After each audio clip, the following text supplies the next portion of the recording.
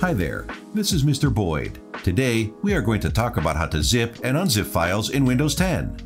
Zipping is one of the oldest and most commonly used methods for compressing files. It's used to save space and share big files quickly. In the past, you needed third-party programs like WinZip to unzip files in Windows, but Windows 10 lets you zip and unzip any file you want just by right-clicking.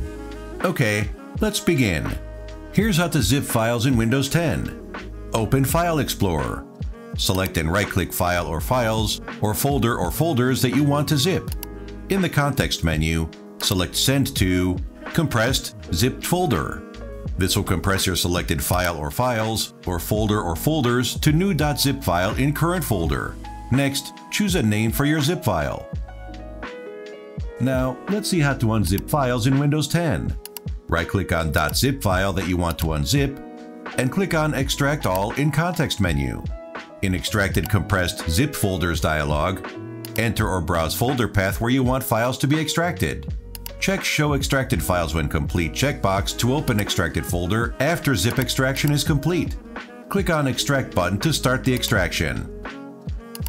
I hope you enjoyed my tutorial. Make sure to subscribe to my channel for more tutorials like this one. See you in the next video.